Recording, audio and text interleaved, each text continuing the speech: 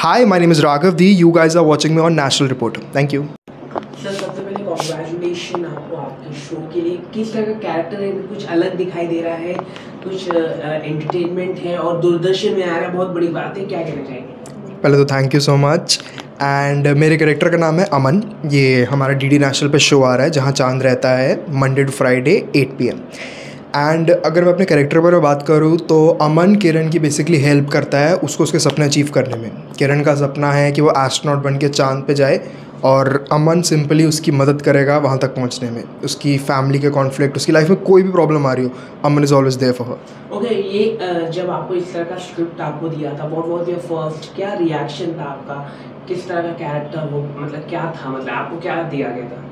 जब मुझे स्टोरी के बारे में पता चला आई वॉज़ रियली सरप्राइज़ क्योंकि ऐसा कॉन्सेप्ट नहीं सोचा किसी ने कि ऐसा कॉन्सेप्ट टी वी पर लेके आएँगे एंड टू लाइक मतलब उसको उस वे में यू नो क्रिएट करना एंड लाइक like, एक इनिशिएटिव लेना कि लाइक like, हमको ये शो बनाना है तो दैट्स रियली अमेजिंग कि किसी ने ऐसा सोचा है शो कर बनाने के लिए क्योंकि ऐसा शो आज तक नहीं देखा। नॉर्मल फैमिली ड्रामा टाइप्स वाला रहेगा but this is a unique concept okay आपकी जो को स्टार है, आपने शूट किया होगा प्रोमो शूट हुआ होगा, किस तरह का एक्सपीरियंस रहा उन लोगों के साथ? को स्टार्स मेरे सभी बहुत अमेजिंग है, सच्ची बात बोलूँ तो। हम पंजाब गए थे, पंजाब के बहुत एक्टर्स थे, जिनके साथ शूट करने में बहुत मज़ा आया। एक्चुअली मैं भी पंजाबी हूँ तो अपने होम टाउन में शूट करने का अलग ही मज़ा होता है। सबसे प्लस पॉइंट होता है ऑफ़ डे पे अपने घर वालों से मिल सकते हो।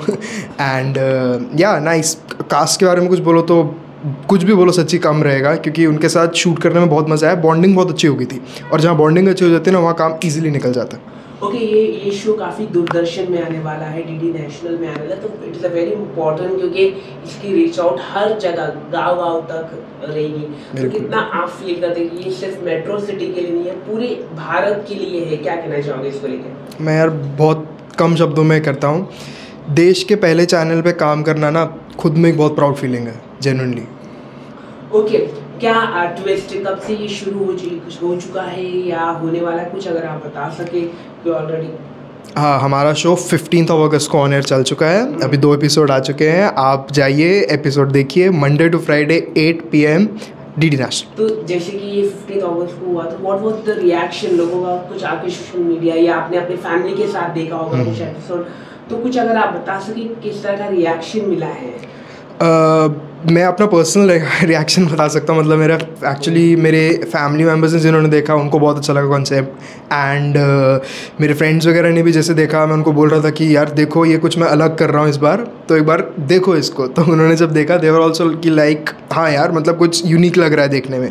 मेरी एंट्री भी बस थोड़े एक दो दिन में है बट स्टोरी का कॉन्सेप्ट सबको पसंद आया। अपने